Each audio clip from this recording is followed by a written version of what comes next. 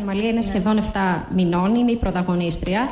Αλλά μεγαλύτερη πρωταγωνίστρια είναι η κορούλα της που βρίσκεται μέσα στην κυλίτσα και αυτή τη στιγμή θα προσπαθήσουμε να απεικονίσουμε την κόρη της, το έμβριο, με τον ε, τρισδιάστατο υπέρηχο και θα μας πει ο γιατρός μας τι ακριβώς μπορούμε να κάνουμε και τι μπορούμε να προβλέψουμε μέσα από τον ε, τρισδιάστατο υπέρηχο. Μαρία, γενικά, ε, τι μπορούμε να προβλέψουμε, πρέπει να πούμε με έναν υπέρηχο κατά τη διάρκεια της εγκυμοσύνης.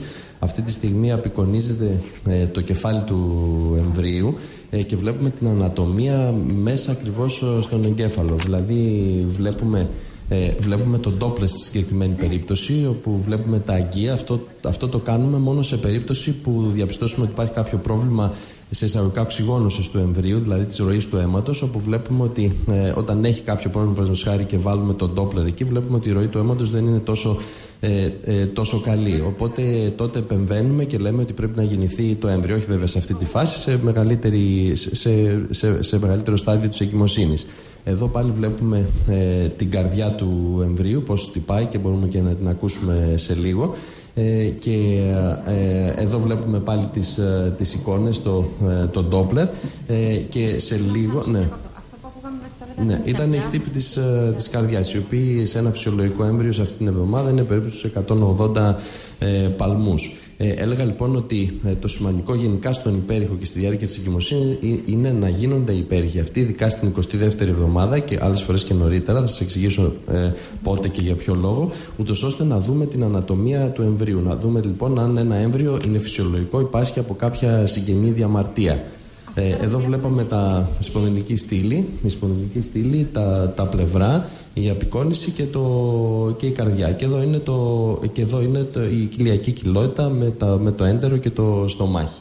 Ε, Ξέρετε, θέλω να ναι. ρωτήσω, επειδή θέλω να τα παίρνουμε και σταδιακά, από ναι. ποια ε, εβδομάδα κύηση μπορούμε να καταφύγουμε στον τρισδιάστατο ναι. υπέρηχο; Ναι. Ε, γενικά μπορούμε να καταφύγουμε στον ε, τρισδιάστατο υπέρηχο και στον υπέρηχο από πολύ νωρίς. Δηλαδή από την 6η-7η εβδομάδα κύηση ε, μπορούμε να έχουμε μια πολύ απεικόνηση, καλή απεικόνηση του εμβρίου. Εκεί βέβαια το πιο σημαντικό είναι να δούμε ότι το έμβριο μεγαλώνει και έχουμε, και έχουμε ε, ε, έχουμε την καρδιά του που χτυπάει φυσιολογικά και ε, την ανάπτυξη του εμβρίου. Μετά το επόμενο, εδώ βλέπουμε, εδώ, γι' αυτό που με ρώτησες, βγάλαμε τον υπέρηχο της Αμαλίας όπως ήταν το μωράκι της στην, στην 7η με 8η περίπου εβδομάδα. Όπου ίσως και λίγο σε μεγαλύτερο στάδιο. Εδώ βλέπουμε την.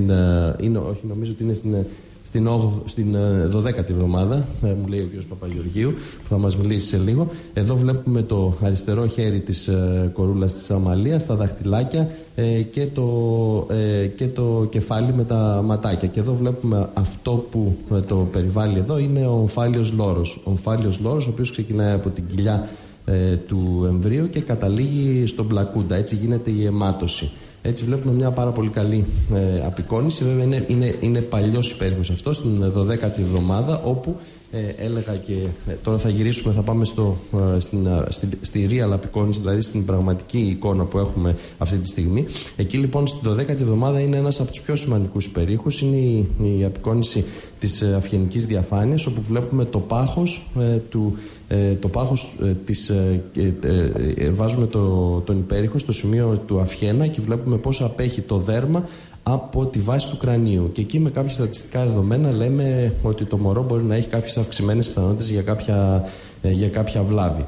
Ε, αυτά έχουν γίνει μετά από πολλές ε, ε, έρευνες και έχουν δείξει ότι είναι πολύ αξιόπιστα τι ανομαλίες γενετικές μπορούμε να προλάβουμε με τον τρισδιάστατο υπέρηχο, έτσι ώστε να έρθει ο γιατρός και να μας πει ότι υπάρχει πιθανότητα να έχουμε αυτή την ανομαλία, έτσι ώστε να δράσουμε από τη στιγμή που θα γεννηθεί το παιδάκι, να έχει την καλύτερη δυνατή γενικά, η... ναι. ε, γενικά ε, μπορούμε να δούμε πάρα πολλές ε, βλάβες. Εδώ βλέπουμε, ε, α, εδώ πάλι είδαμε ε, το, ένα τρισδιάστατο υπέρηχο, βλέπουμε ε, το, το, την κόρη της Αμαλίας, πώς είναι αυτή τη στιγμή. Βλέπουμε τα. Λοιπόν, Θάνο, συγγνώμη. Ναι. Αυτή, αυτή τη στιγμή, επειδή και η Αμαλία είναι κοντά μας, η οποία βλέπει και την κορούλα της τώρα. Αμαλία, πώς αισθάνεσαι που βλέπεις αυτή τη στιγμή το παιδάκι σου, Χαρούμενη, παράξενα. Και όλα μου φαίνονται ρόζα αυτή τη στιγμή που είναι και κοριτσάκι. Χαμογελάω συνεχώς. Το ενοχλούμε τώρα, γιατί βλέπω έτσι. Τι, Τι νομίζω. Μούτρωσε. Μούτρωσε. Δεν είναι η στάρα ακόμα.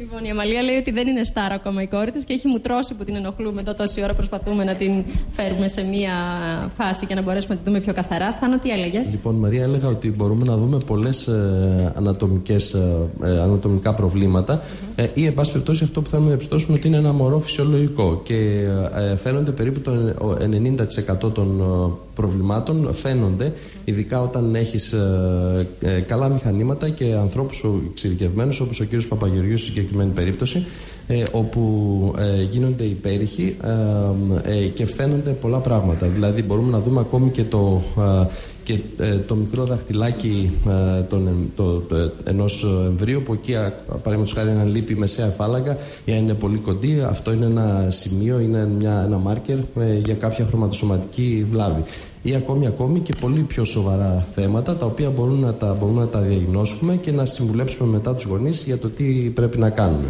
Μαρία μου, συγγνώμη, Κατερίνα, πες μου. Στο σημείο αυτό θέλω να σου κάνω μια ερώτηση που είναι απορία τηλεθεάτριας. Mm -hmm. Αν το έμβριο έχει νευροβλάστομα, Μπορούμε να το δούμε μέσω του τρισδιάστατου υπέροχου. Νευρο... Ναι, σε ακούει και ο γιατρός. Αν έχει νευροβλάστομα, θα μας απαντήσει ο κύριος Παπαγεωργίου ε, για το αν... Uh -huh. Κύριε Παπαγεωργίου. Ορίστε. Αν ε, το έμβριο έχει νευροβλάστομα. Ναι, μπορεί να απεικονιστεί. Ε, πολλές, πολλές φορές στην κοιλιακή χώρα έχουμε απεικονίσει στην ε, δυσδιάστατη απεικόνηση και έχουμε έναν όγκο κοιλιάς, όπως το περιτοναϊκό συνήθως, ο οποίος φαίνεται και μπορεί να γίνει και η διαφοροδιάγνωση. Βέβαια, οι διαγνώσεις δεν είναι ποτέ σίγουρες. Μπαίνουμε με πιθανές διαγνώσεις μέχρι να ε, δούμε πραγματικά μόλις γεννηθεί με μαγνητική συνήθως τομογραφία, αλλά και ενδομητρίως, ότι μπορούμε να βάλουμε μια τέτοια δύσκολη διάγνωση ουσιαστικά. Οπότε, από ό,τι Είναι πολύ σπάνιο αυτό που μας ρωτήσατε. Βεβαίως, φαντάζομαι ότι το ρώτησε κάποια τηλεθεάτρια. Ναι, ναι, ναι. Ε, και, ναι. και βεβαίως και μπορεί να διαγνωστεί, αλλά εφόσον μπει η πόνη αυτή, τότε θα πρέπει να γίνει μια ειδική εξέταση μαγνητικής τομογραφίας ε, πέρα από το τρισδιάστατο υπέρηχο για να επιβεβαιωθεί αυτή η βλάβη και μετά να συζητήσουμε με τους γονείς ε, ποια είναι η περαιτέρω εξέλιξη. Ε, διάβαζα κάπου ότι μπορεί να δούμε ότι το μωρό μας πάσχει από λαγόχυλο, ακόμα και τέτοιες λεπτομέρειες που συνήθως τις διαπιστώνουμε όταν πλέον το παιδάκι έχει έρθει στη ζωή. Βεβαίως. Ε, είναι επιφανειακές ε, βλάβες και εκεί πια έχει ε, μεγάλη βάση και αυτό το, το τρισδιάστατο υπέρηχο που συνήθως πιάνει επιφανειακές βλάβες ή εν πάση περιπτώσει τις εντοπίζει αφού, ή εν πάση περιπτώσει αφού με τον συμβατικό υπέρηχο τις έχουμε διαπιστώσει πηγαίνουμε και, ε, ε, και κόβουμε κατά κάποιο τρόπο με τον υπέρηχο στο συγκεκριμένο σημείο. Και βλέπουμε λοιπόν τι ακριβώς ε, συμβαίνει. Λαγόχυλο υλικόστομα είναι ε, όταν ε, στο άνω χείλος ή στο κάτω χείλος λείπει ένα κομμάτι από το, από το χείλος του εμβρίου. Είναι λοιπόν μικρές βλάβες τις οποίες τις, τις βλέπουμε και συζητάμε με, με τους γονείς αργότερα αν υπάρχει αυτό το θέμα για το τι, πώς ακριβώς θα, θα προχωρήσουμε. Εδώ βλέπουμε την κοιλιά ε, και, το, και την ε, καρδιά. Γύρισε το έμβριο και δεν έχουμε πολύ καλή απεικόνηση όσον αφορά τον τρισδιάστατο υπέρηχο. Θα προσπαθήσουμε ξανά. Ε, γιατί είναι, είναι μια δυναμική κατάσταση. Δηλαδή, την ώρα που μιλάμε, το έμβριο, ε, όπως και εμείς κινούμαστε, κινείται και εκείνο. Όπως εμείς, ε, παραδείγματος χάρη, χασμουριόμαστε, χασμουριέται και εκείνο. Ή έχει λόξιγκα, το έχει και εκείνο. Εδώ βλέπουμε σε real πάλι απεικόνηση το τρισδιάστατο υπέρηχο. Ε, βλέπουμε την κεφαλή του, ε, του κρανίου αυτή τη στιγμή και το, αυτό μπορούμε να δούμε είναι ε, λίγο τα, το χεράκι. Ε, θέλω, να ναι. πούμε. θέλω να πούμε πριν κλείσουμε και την σύνδεσή μας και ευχαριστήσουμε και την Αμαλία γιατί πραγματικά Χωρίς την Αμαλία δεν θα μπορούσε να γίνει όλη αυτή η σύνδεση και το μωρό της εννοείται. Ε, πόσο σημαντική είναι όλη αυτή η διαδικασία για τον συναισθηματικό και τον συνεκτικό δεσμό μεταξύ του, της μητέρας και της οικογένειας με το μωράκι; Είναι πολύ σημαντικό να ξέρει ε, ο γονείς, ε, οι γονείς ε, πώς, αν είναι φυσιολογικό το εμβριό τους, αν υπάρχει κάποιο πρόβλημα ή εν πάση περιπτώσει να μπορέσουμε να τους βοηθήσουμε να αποφασίσουν αν υπάρχει κάποιο πρόβλημα ποια, ποιο, είναι το, ποιο είναι το μέλλον. Έτσι. Και σίγουρα αν μιλάς πάλι για το τρισδιάστατο υπέρηχο βεβαίως και τα τελευταία χρόνια με την εξέλιξη των υπερήχων έχουμε, και, έχουμε όλο και περισσότερους γονείς που μας το ζητάνε αυτό και σίγουρα είναι ένα δέσιμο διότι είναι πολύ σημαντικό πριν να γεννηθεί το μωρό να βλέπει κανείς το, το προφίλ του, το, το, το, ε, το πρόσωπό του πάρα πολλές φορές όπως το είδαμε και νωρίτερα ε, και πολλά σημεία του σώματός του και σίγουρα αυτό ε, δένει ειδικά τη μητέρα με το, με το παιδί ακόμη πιο πολύ. Μαράκι μου, να κάνω μια τελευταία ερώτηση. Να ρωτήσουμε τον γιατρό να μας πει αν είναι εύκολο το πόσο περίπου κοστίζει ο τρισδιάστατος υπέρηχος. Κοιτάξτε, ο τρισδιάστατος υπέρηχος δεν είναι κάτι το οποίο το χρεώνουμε ε, επιπλέον. Ε, ε, εάν και εφόσον φαίνεται το έμβριο, τότε βγαίνουν, βγαίνουν αυτές οι φωτογραφίες που τις δίνουμε στη, στους γονείς μαζί με τους, με τους σημαντικούς υπερήχους τους, του β' επίπεδου και τους άλλους υπερήχους που έχουμε πει της, ανά, της ανάπτυξης, όπως και της αυγενικής διαφάνειας, για να ε, για να τα έχουν μαζί τους στη διάρκεια της εγκυμοσύνης και μεταγενέστερα να τα δείξουν στο, στο μωρό τους. Συνεπώς, η απάντηση είναι ότι δεν χρεώνεται επιπλέον.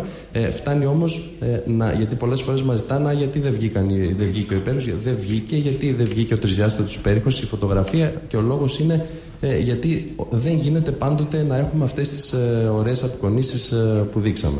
Θα να ευχαριστήσω πραγματικά πάρα πολύ. Να ευχαριστήσουμε όμως και την Αμαλία. Φυσικά. Αμαλία, με το καλό το Μάρτι, να κρατήσεις το βρεφάκι σου. να σε καλά.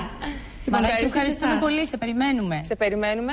Ε, εμένα μου άρεσε πάρα πολύ αυτό που είπε ότι εντάξει, εκτός από ιατρικής άποψης που είναι πάρα πολύ σημαντικός ο υπέρηχος, είναι και το συναισθηματικό δέσιμο που και, έτσι είναι και πολύ. Και όταν μεγαλώσει αυτό το μωράκι, να έχει τη φωτογραφία και γίνει μεγάλος άντρας ή ναι. γυναίκα, να έχει τη φωτογραφία που μόλις ήταν στην κλίτσα της